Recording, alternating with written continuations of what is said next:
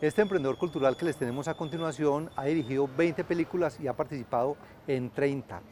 Es uno de los cineastas más reconocidos en un país como Colombia. Vamos a contar su emprendimiento aquí en Negocios en tu Mundo.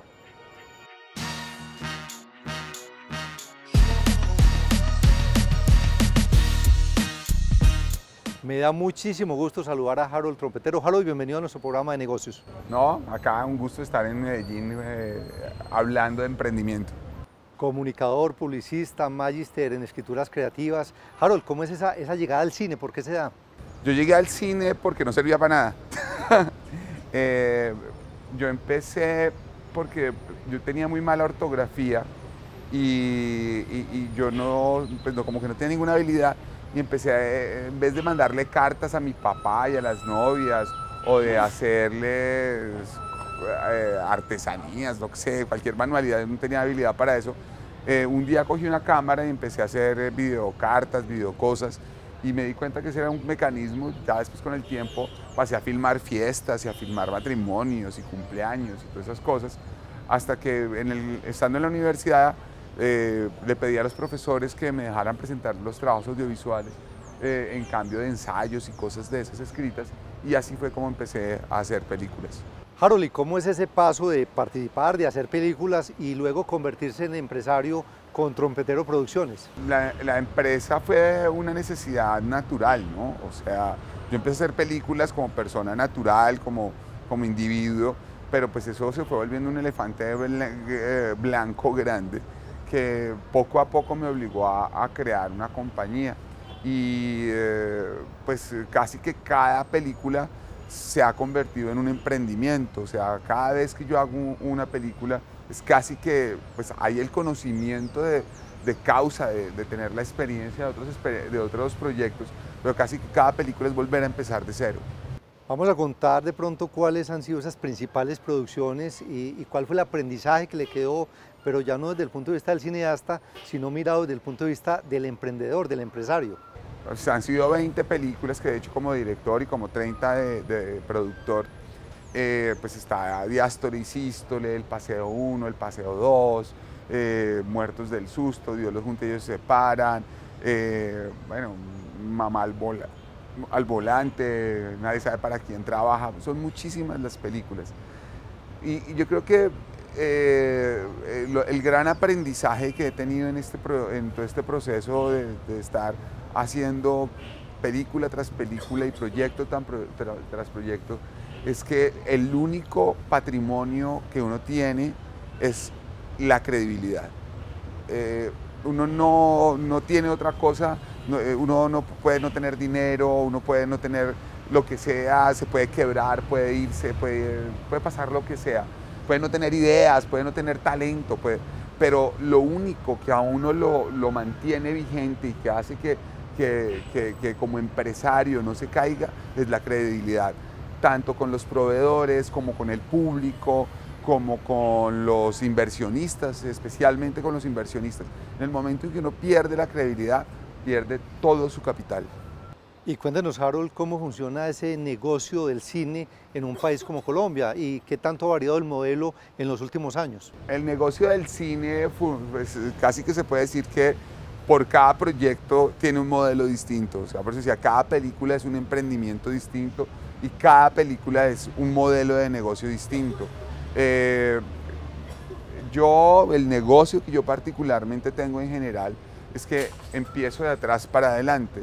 O sea, yo tengo una idea, pues obviamente parto de la idea y lo que hago es, no, no digo cómo hago esta idea, nada, sino que me pongo a, a ver qué posibilidades de consumo tiene esa idea. O sea, hablo con, con, los distribuidores, con los exhibidores y hacemos un, cálculo tentativo de cuánta gente puede consumir ese, ese producto. Y a partir de ahí echamos para atrás hacemos el diseño de producción, vemos cuánto nos vamos a gastar, si es viable o no es viable, si es rentable o no es rentable y cuáles son las mejores fuentes de financiamiento para esa idea. Harold, me gustaría conocer su opinión sobre lo que está pasando en el caso de Colombia, donde hay un gobierno muy interesado en impulsar el tema de economía naranja, si eso realmente es una gran oportunidad pues, para industrias creativas como el caso del cine y, si pues, usted tendría sugerencias para hacerlo mucho mejor. Pues la economía naranja nominalmente suena muy bonito, tiene muy buenas intenciones, me parece a mí, y es una iniciativa muy, muy loable. Prácticamente me parece que está muy mal enfocada.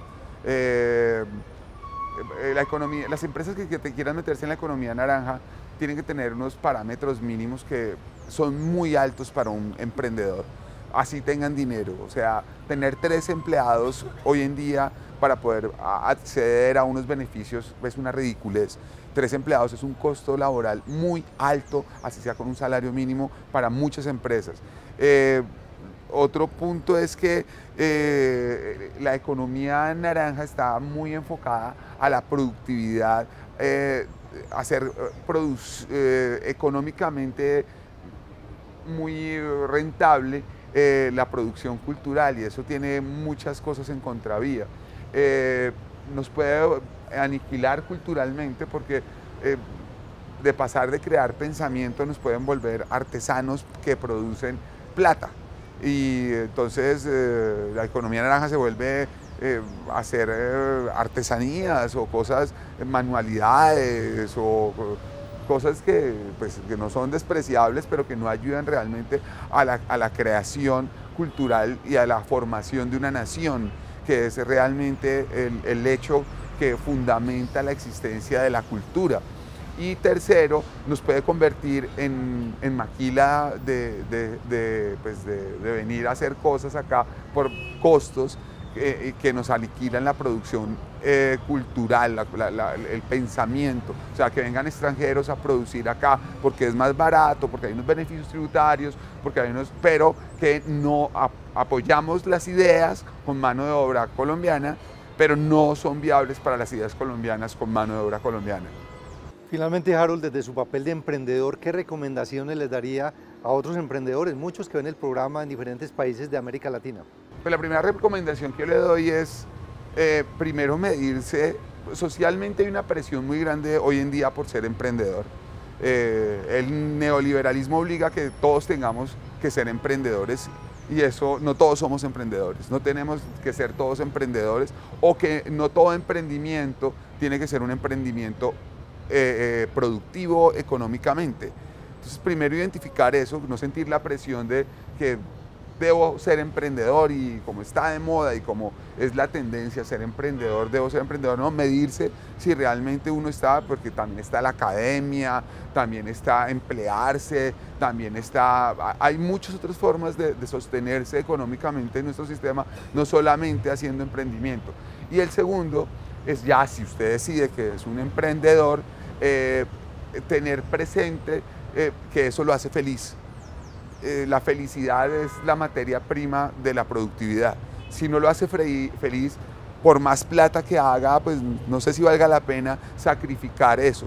Y eh, en tercer lugar, que es el primer consejo que di, es tener presente que el capital número uno que uno tiene es la credibilidad. Si uno eh, pierde ese valor de credibilidad, de respetar la palabra, de respetar los intereses mutuos, de no ser aventajado sobre el otro, de no decir como usted invirtió, entonces le voy a hacer perder su plata eh, y no hay ningún problema porque yo también estaba poniendo en riesgo.